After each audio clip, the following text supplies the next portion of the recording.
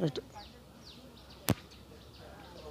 கொடி கொடியங்குளம் துரப்பாண்டி புளியம்பட்டி சொசைட்டியில் வந்து ஒரு லட்ச ரூபாய்க்கு நகை கடன் வச்சுருந்தேன். அடகு வச்சுருந்தேன். வட்டி கடன். அதை வந்து எனக்கு விவோ பத் பத்து நாடங்களை எல்லாம் வாங்கி கொடுத்து எல்லாம் பண்ணி எனக்கு ஏமாற்றி எனக்கு மட்டும் நகை வச்சு வச்சு தர மாட்டேன்ட்டாங்க. அதுக்கப்புறம் வட்டி கடனில் வச்சு தாங்க நான் வச்சு இது பண்ணி தரேன்னாங்க. அதுவும் பண்ணலை. அதுக்கப்புறம் நான் இப்போ பெட்டிஷன் கொடுத்தேன். எந்த எங்கே கலெக்டர் ஆஃபீஸு எஸ்பி ஆஃபீஸு எல்லா இடத்துக்கும் முதலமைச்சர் தனிப்பிரிவு எல்லாத்துக்கும் பெட்டிஷன் கொடுத்து எந்த இதுவும் நடவடிக்கை எடுக்க மாட்டாங்க.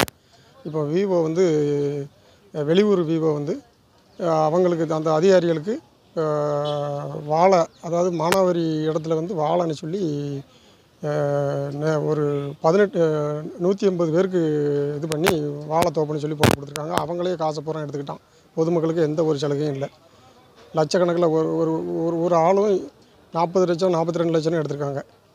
இது வந்து ப்ரூஃப் இந்த இதெல்லாம் இருக்குது அப்பவும் அவங்க வந்து எந்த ஒரு நடவடிக்கை எடுக்க மாட்டாங்க. ஸ்டேஷனில் என்னைய விவோ வந்து மிரட்டு தான் ஃபோ ஃபோனில் மிரட்டினாப்போ. விவோவை போய் நம்ம ஸ்டேஷனில் எழுதி கொடுத்து எல்லாம் பண்ணி பார்த்தோம் அப்பவும் எந்த நடவடிக்கையும் எடுக்கல. ப எஃப்ஐஆர் போடுறதான்னு சொன்னாங்க ஸ்டேஷனில் ஃபிலிம் ஸ்டேஷனில். ஆனால் இன்னும் இது வரைக்கும் எந்த- எந்த இதுவும் பண்ணலை.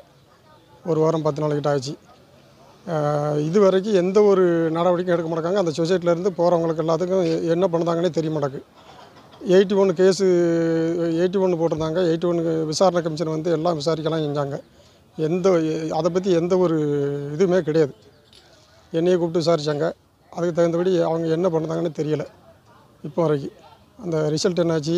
அதுக்கு முடிவு என்னாச்சுன்னு ஒன்றும் தெரியல. இப்போ திரும்ப வந்து கலெக்டர் ஆஃபீஸில் வந்து பெட்டிஷன் கொடுத்துருக்காங்க.